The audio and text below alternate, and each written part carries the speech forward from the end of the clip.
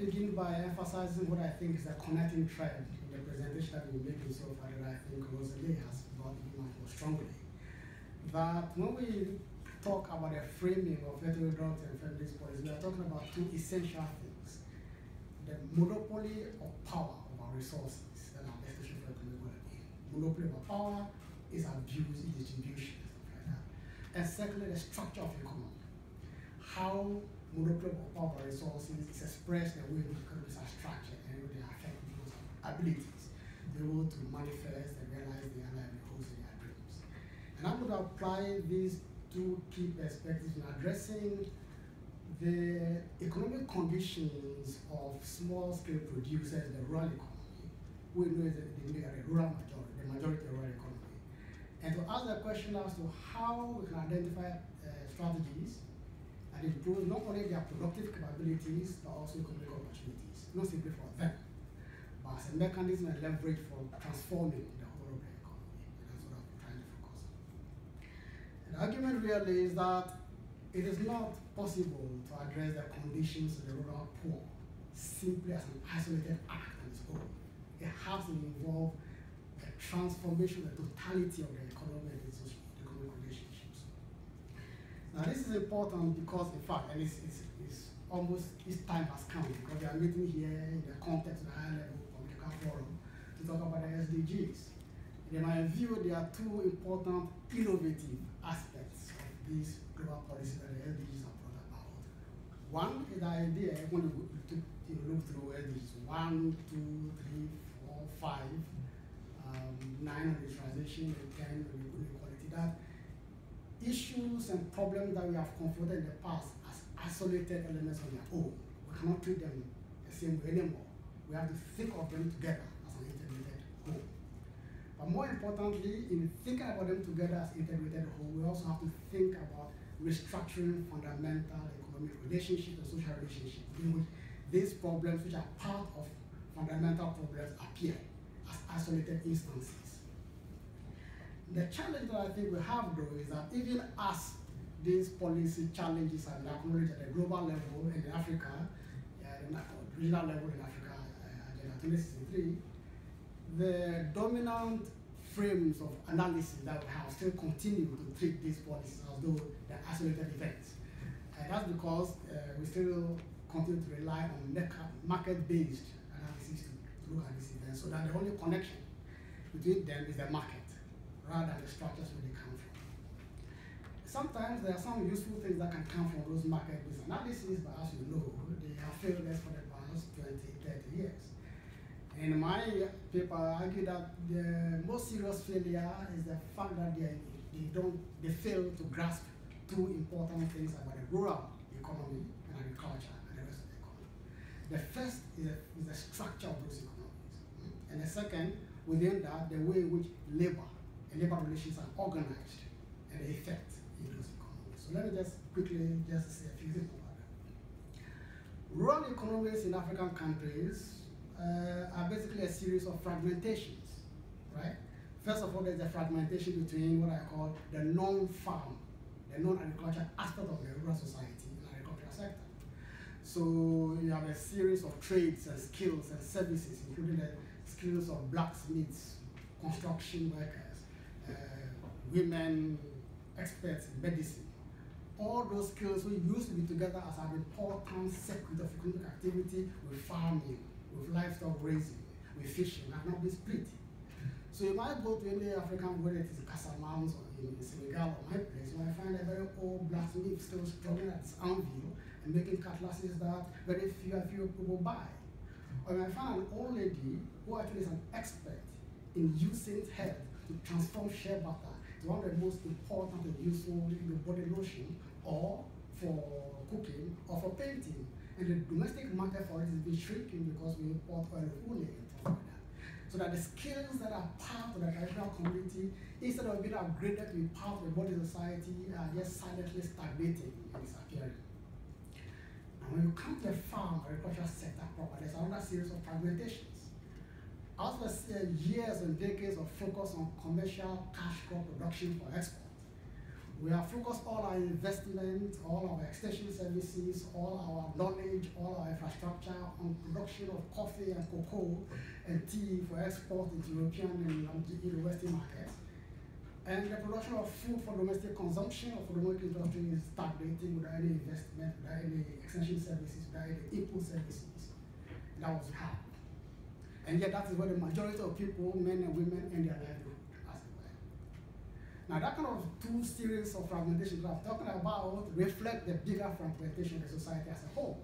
So in Ghana, in Nigeria, in, in wherever you you around in Africa, there are economies that organize around the production and export of a few baskets of primary products, agriculture and minerals, partly processed.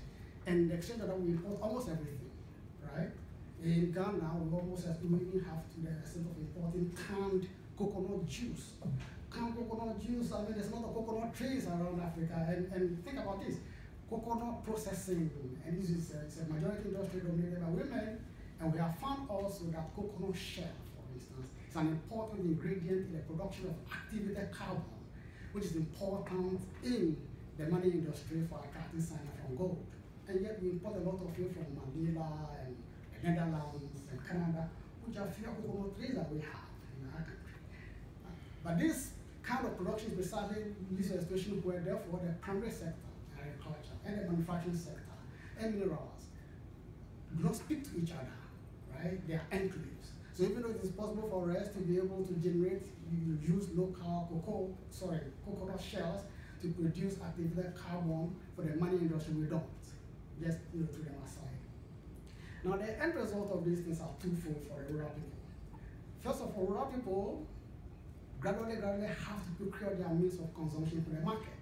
They have to buy their fuel, they have to buy their food, they have to pay school fees, and yet, in the exchange of that, the means of production that will give you the income is constantly being eroded, undermined, and limited. So they're involved inevitably in an unequal exchange between rural society and body society, which is actually at the root of impoverishment, as it were. And this is then complicated, exacerbated by the form of dominant labor form within which rural people end their living. And, and I'm going to focus now on what we normally call a family unit, in, in, many African countries and beyond, the household, in quotes, mm, is the basic productive unit, right? So when you have a farm, you will find the, husband and wife and their five children focused in the farm of less than one acre, and all of them, their labor is involved. They go to the farm and they yield very little out of that, and they go back home and they get involved in the consumption activities. A certain fusion of both productive and consumption, what is called today, these days, care economy one. Now, in certain times past, where there's a balanced treatment of the economy and circulation, there was there was a strength, and even today, it's a very strong coping mechanism.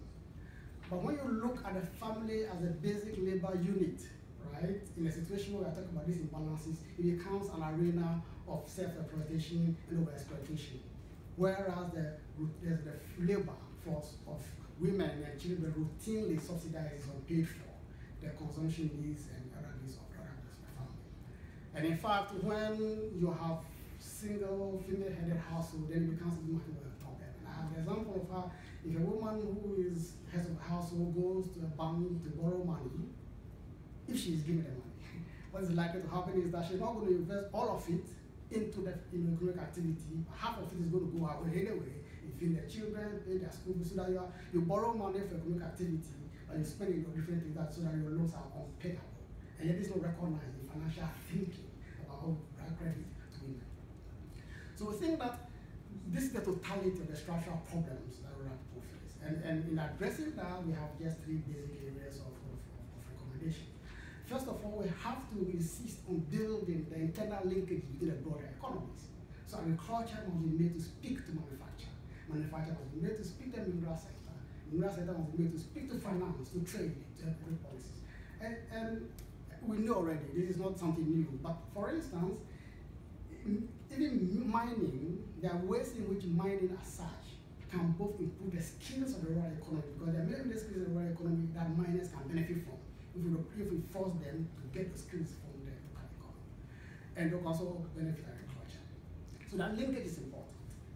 But there's also there is a kind of targeted uh, policy at the agricultural sector itself, which includes how to ensure that access to resources like technology, finance, land and reorganized away from the monopoly of power that forms the basis of this abuse so that small people don't have it, right?